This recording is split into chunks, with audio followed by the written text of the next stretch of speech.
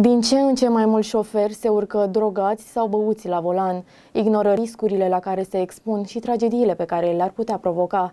Drogată la volan, așa se plimba o tânără în vârstă de 22 de ani pe centura municipiului Drobeta Turnu Severin, atunci când a fost depistată de către polițiști.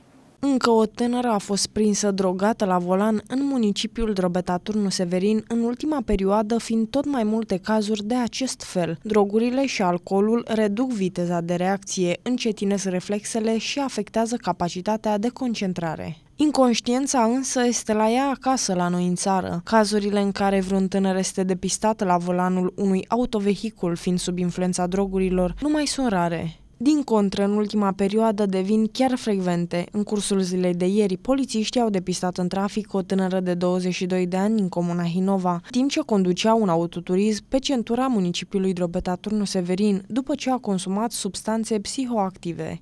Conducătoarea auto a fost testată cu aparatul drag test care a indicat o valoare pozitivă, aceasta fiind condusă la o unitate medicală pentru a-i se recolta mostre biologice în vederea stabilirii consumului de substanțe psihoactive. În cauza a fost întocmit dosar penal sub aspectul săvârșirii infracțiunii de conducere a unui vehicul sub influența alcoolului sau altor substanțe.